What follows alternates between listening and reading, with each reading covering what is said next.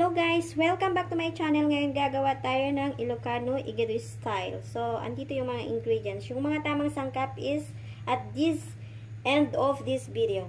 So, ngayon, check natin yung mga ingredients.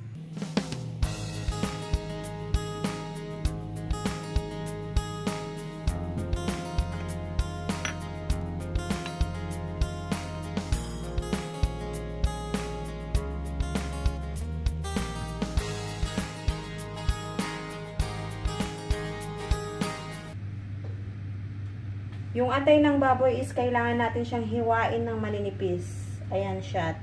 Then, ibabad natin sa suka na may paminta.